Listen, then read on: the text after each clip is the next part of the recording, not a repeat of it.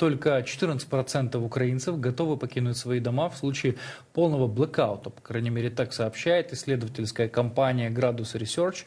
А две трети опрошенных твердо намерены оставаться на своих местах проживания этой зимой. О том, почему большинство украинцев сохраняют в такой сложной обстановке оптимизм, и в том числе в подготовке в этом процессе к зиме, несмотря на постоянные российские массированные удары. Об этом детальнее расскажет наш коллега Данила Кобза. С началом холодов кремлевский режим только увеличил количество массированных ракетных атак по Украине. Их главной целью являются объекты критической инфраструктуры. Однако часто под раздачу попадает и жилой фонд. Только от взрыва одной ракеты в Выжгороде Киевской области погибли пятеро человек. Еще 20 получили ранения. Три дома сильно повреждены. Россия буквально забрала у десятков людей все. Все, кроме веры в победу. Ну, я местный, сейчас дадут э, какое-то жилье, где-то что-то этот, ну, все официально бомж, так как и все. Я не такой один, так что, ребята, тримаємось, бо ми сила. Ми переможемо. Ракетным террором Кремль хочет вынудить Украину сесть за стол переговоров. По мнению Москвы, отчаявшиеся граждане надавят на власть. Но эта тактика обречена на провал. Многие украинцы стали готовиться к зиме еще задолго, до первых массированных обстрелов. Например, Алексей закупил дрова еще летом. Тут у нас твердотопливный котел. Здесь у нас котел твердотопливный. Работает на дровах. Сейчас вот работает. Греет этот вот бак. Тепло, аккумулятор и от него уже идет насос, ведет тепло, воду по всему дому. Даже во время аварийных отключений дома у Алексея остается свет, тепло и вода. Теперь мужчина советует другим украинцам, как подготовить жилище к зиме. Первое и самое главное, я считаю, что это все-таки генератор, чтобы был какой-нибудь более стабильный и долговременный источник энергии. А дальше это уже аккумуляторные батареи с инвертором, чтобы можно было подзаряжать. Это уже какая-то независимость и более дешевое решение. Генератор не придется гонять весь день. Чаще всего из-за атак России в домах украинцев пропадает электричество, однако от него зависит также подача воды и тепла. Официальные власти рекомендуют гражданам держать дома запас питьевой воды, теплые вещи и несколько заряженных аккумуляторов, на случай, если с последствиями атаки не удастся справиться быстро. Украинцы к рекомендациям относятся серьезно, но оптимизма не теряют. Пауэрбанк обов'язково. Пауэрбанк обязательно. Я вам больше скажу. Гирлянду купила на USB, потому что от пауэрбанка можно осветить всю комнату, потому что выключают свет, да. У меня приватный будинок. У меня частный дом. Пилеты заготовил, дрова и дизель-генератор. Мы всех победим, а нас не победить никому. С позитивом готовлюсь к зиме, конечно. На случай полного блокаута по всей Украине также установили 4000 специальных пунктов несокрушимости. Они могут одновременно принять до 400 человек. В пунктах всегда будет тепло, вода и свет. Бизнес также запустил похожую инициативу. Такой пункт обустроили в одном из киевских ТРЦ. Даже во время аварийного отключения электричества свет здесь будет бесперебойно. Поэтому любой желающий сможет прийти сюда, согреться и подзарядить свой телефон. Такие заряжайзеры открыли в 70 строительных супермаркетах по всей стране. В самой сети подчеркивают, что такая взаимопомощь между бизнесом, государством и гражданами многое говорит об украинцах как нации. Я думаю, что в цей важкий период... Я думаю, что в этот трудный период очень важно, чтобы бизнес включался в эту помощь и чтобы люди почувствовали эту руку помощи, которую бизнес протягивает. Почему? Потому что у бизнеса в основном немножко больше возможностей. Например, большие мощные генераторы аккумуляторы, которые трудно купить обычным гражданам. Мы это понимаем. Очень многие торговые центры и бизнесы сокращают потребление электроэнергии, но за счет этого сокращения мы как раз и можем долю этой энергии отдать людям. Вопреки российскому ракетному террору и постоянному звуку сирен, украинцы верят, что государство движется в правильном направлении. Так, согласно социсследованию, проведенного Киевским международным институтом социологии, 88% украинцев считают, что через 10 лет страна будет членом Евросоюза, а 96% готовы терпеть трудности в ближайшие годы ради дальнейшего процветания Украины. Данила Кобза, Виктор Головко, Дмитрий Борщ, Юрий Шульга для телеканала Freedom. О настроениях украинцев поговорим буквально через несколько минут. Вот информация о том, как восстанавливается украинская энергетическая инфраструктура, несмотря на постоянные массированные атаки со стороны страны террориста. В Кривом Роге, это Днепропетровская область, 95% города уже со светом. На электротранспорт, э, единственное, что он работает в таком ограниченном режиме. Об этом сообщил глава городской администрации Александр Вилкул. Также, по словам Вилкула, в городе э, ранее было запущено уже более более 80% котельных благодаря украинским героям, энергетикам, которые совершают свою работу, несмотря на постоянные атаки со стороны Российской Федерации. Э, также в Харьковской области удалось восстановить энергоснабжение на 70%. Об этом сообщил э, председатель областной военно-гражданской администрации Олег Снегубов. В то время, по его словам, без света остается еще около 150 тысяч человек в Харькове и почти 300 тысяч человек в области. Но, тем не менее, мы видим действительно, что гораздо больше половины, уже 70% энергоснабжения удалось восстановить. И действительно, э, работы идут ну, достаточно стремительно, и прогресс также ощущается. К нашему эфиру сейчас присоединяется Дмитрий Громаков, социолог, эксперт по коммуникациям Международного центра противодействия российской пропаганде. Дмитрий, здравствуйте. Доброе утро. Э, Дмитрий, ну ведь э, на самом деле мы вот недавно даже смотрели материал нашей коллеги Ксении Смирнова, она э, людей на улицах французских городов опрашивала, э, что они думают об Украине и так далее. И э, на самом деле э, украинцы, они очень стойко себя сейчас ведут, они очень стойко проявляют свою позицию, свое намерение все-таки защищать суверенитет Украины и, несмотря ни, ни на что, не сдаваться. И самое главное, действительно ведь проявляют доверие к власти. Это очевидно сейчас. А как вы считаете, главным образом, чем это обусловлено именно сейчас, в условиях войны, когда Российская Федерация осуществляет психологическое давление теми же обстрелами э, гражданской инфраструктуры? Ведь на самом деле Российская Федерация делает все, что вывело бы из себя, можно сказать, среднестатистического россиянина. Почему в Украине люди настолько крепко держатся и ну, настолько несокрушимы на самом деле? Это не просто громкое заявление, это ведь на самом деле так. Ну, во-первых, э, скажем, эта война стала э, войной украинского народа. Это не просто в они не поделили а, какой-то там кусок территории, либо еще чего-то. Это украинского народа, и каждый понимает свою ответственность Сейчас вам перезвоним, стороны, Дмитрий. Стороны... Слышите, да, меня? Ага. Перезвоним сейчас нашему гостю. Есть проблемы небольшие у нас со связью. Опять-таки напоминаем, массированные российские атаки э, происходят. Есть проблемы со связью, со светом. Да, есть проблемы. Но украинцы держатся и будут держаться. Об этом мы говорили и наши коллеги в материале. А есть также информация, ходила она в интернетах, как говорится, и даже кадры специальные появлялись, появлялись о якобы каких-то протестных настроениях. А, в Украине, исходя из ситуации с энергетической инфраструктурой, отсутствием в некоторых городах, э, селах, иногда даже областях отопления. Это все попытка создать в Украине определенные условия для ИПСО, информационно-психологических операций. Российская Федерация как раз пытается использовать в Украине технологии, которые уже не работают. Вот в частности, э, организация различных акций протеста. Об этом в интервью Укринформу э, заявил советник руководителя Офиса президента Украины Михаил Подоляк. Далее детали. Россия попыталась зайти в эту тему, спровоцировав протестное настроение и даже разработав целую сеть информационных листовок, в которых пишут «Верните нам свет и садитесь за стол переговоров, соглашайтесь на любые условия, а главное, верните нам свет и тепло». Но это выглядит странно. Для любого человека предательство – это предательство и попытка принудить Украину, украинское правительство, принять ультимативные условия, потому что Россия атакует энергетические объекты. Это именно проявление, на мой взгляд, предательства.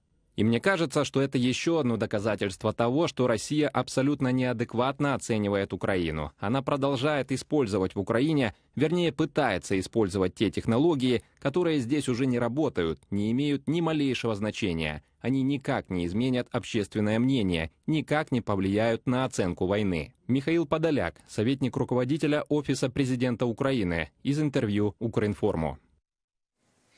Итак, в победу над Россией верят 90% украинцев, а для 55% украинцев победа – это полное вытеснение оккупантов, как было до 2014 года. Об этом свидетельствуют данные социальных опросов. Мнение экспертов по поводу ожидания украинцев от будущего собирали наши корреспонденты. Давайте посмотрим. Украинская держава виявилася набагато більш дієздатною. Украинское государство оказалось более дееспособным, чем мы могли предполагать. Это чрезвычайно приятно, что мы можем жить в стране, где государство оказалось более стрессоустойчивым, чем мы могли ожидать, исходя из своих эмпирических наблюдений. Змінилася впевненість в собі, впевненість в країні. Изменилась уверенность в себе, уверенность в стране. Это может философское такое понятие, что такое уверенность, но это оценка относительно того, кто мы есть. Это самоидентификация. Украина себя всегда оценивала, как видим, почти в 3, 3,0, что чуть выше среднего. Мы не туда, мы не сюда, мы посередине, мы где-то хуже европейцев, а сейчас у нас оценка 4,6, и это очень высокая оценка. Чтобы вы понимали, это один из топовых показателей. И также по отношению к внутренней уверенности тоже возросла оценка с 4,5 до 6,4. Это по отношению к гражданской жизни. Ми спостерігаємо значно більший стрибок. Мы наблюдаем значительно больший скачок уровня доверия к органам власти, президенту Украины. Сейчас доверяют 82% опрошенных. Это такой показатель, которого никогда не было. Ну, это близко к тому показателю, когда Зеленский пришел к власти. Тогда было около 79%. Мы видим, что после войны уровень доверия к нему вырос, как и вырос уровень доверия ко всем органам власти. Раніше, коли заходиш з якісними дослідженнями десь Раньше, когда социологи заходили с качественными исследованиями где-то в Харьковскую, Донецкую или Днепропетровскую области, постоянно слышали такую фразу «Вот в Западной Украине нас не любят». Аналогично заходили во Львовскую, Закарпатскую области, те тоже говорили, что люди из Восточной Украины нас не любят. И этот месседж «они нас не любят» не «мы их не любим», а именно «они нас не любят».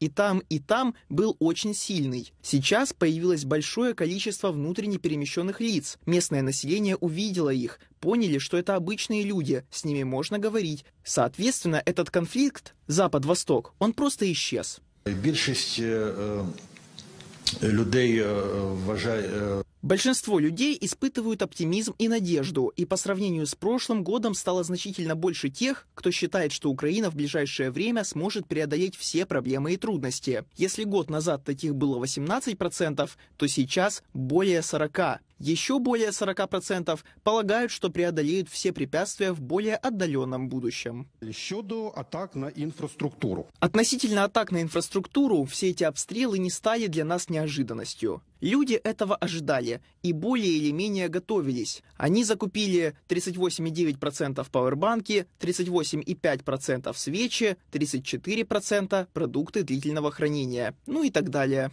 Ну, стосовно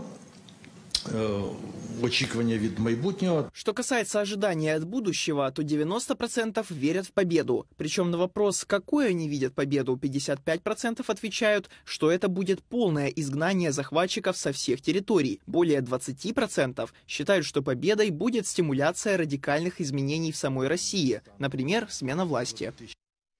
К нашему эфиру возвращается Дмитрий Громаков, социолог, эксперт по коммуникациям Международного центра противодействия российской пропаганде. Э, Дмитрий, снова вас приветствуем. И я буквально коротко напомню зрителям вопрос.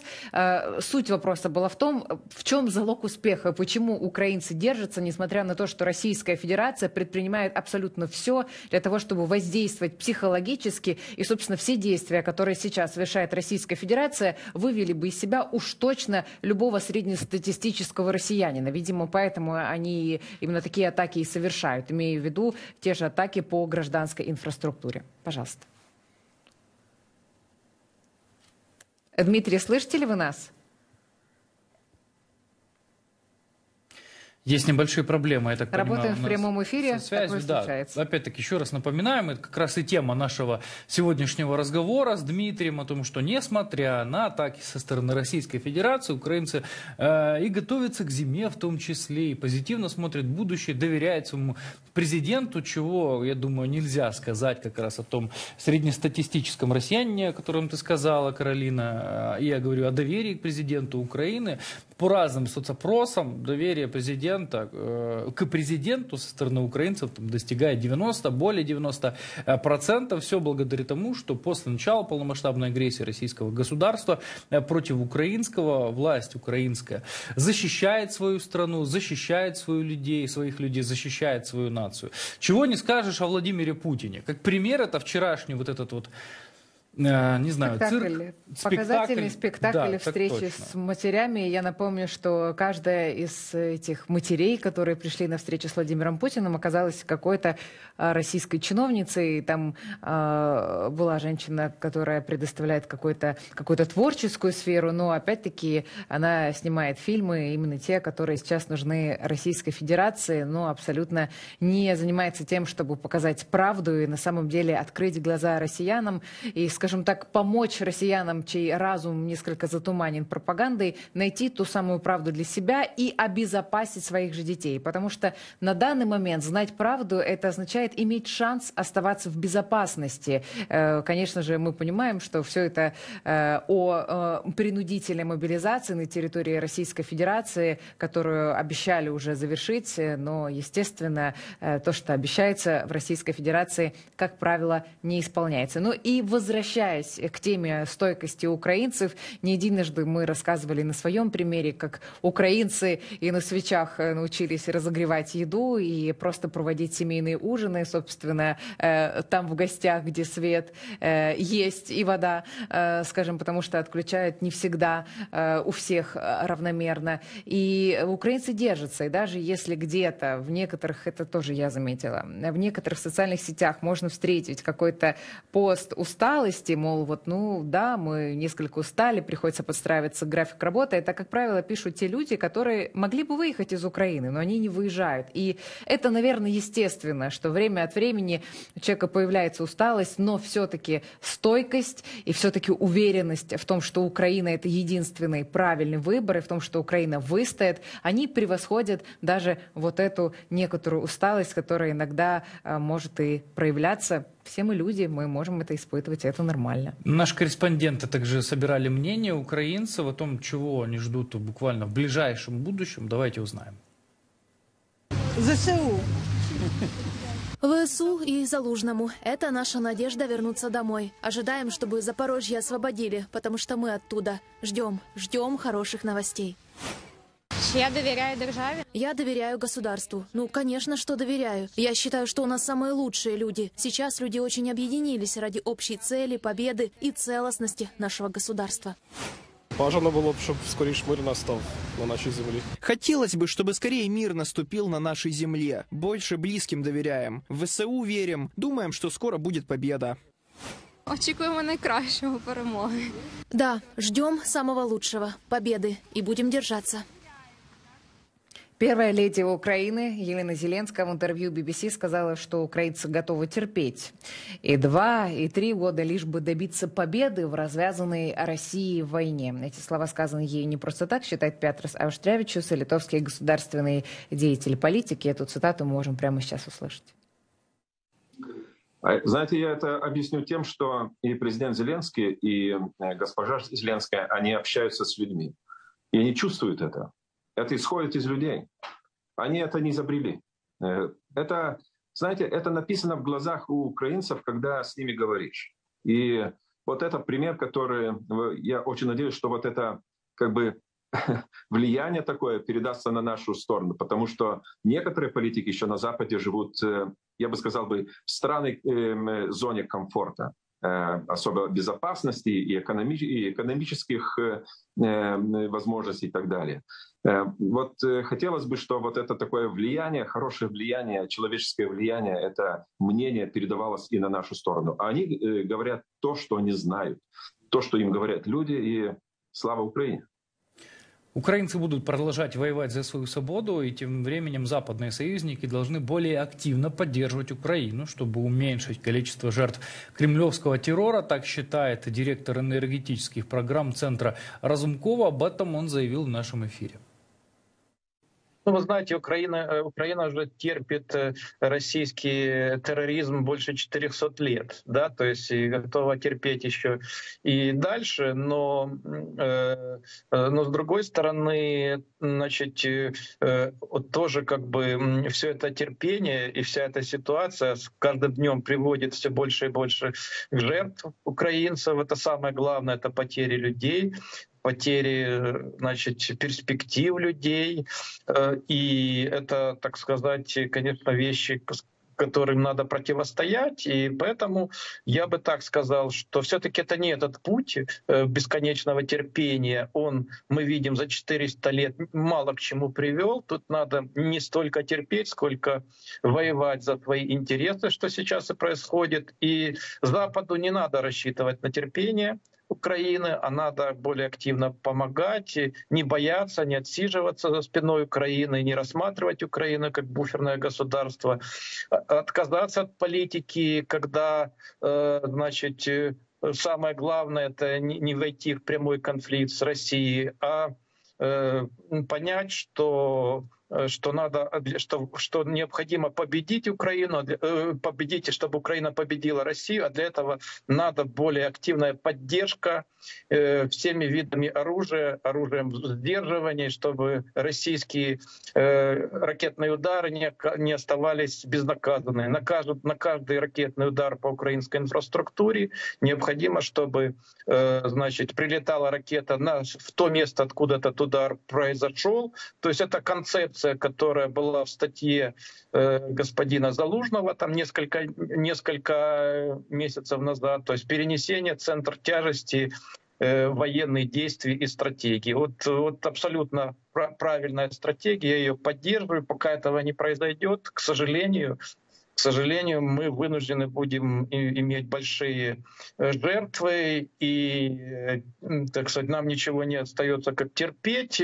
К, к сожалению, так сказать, пока что Запад очень медленно приходит к, э, к тому решению, к которому подталкивал господин Залужный со своим коллегой, другим генералом, членом Комитета Верховного Совета, к перенесению центра тяжести военных действий э, в этой, в этой войне. К сожалению, не удалось восстановить связь с Дмитрием э, Громаковым, но мы обязательно эту тему еще будем обсуждать в последующих наших прямых эфирах. У нас впереди еще много интересных тем и интересных авторитетных экспертов, поэтому оставайтесь с нами. Через мгновение вернемся к вам.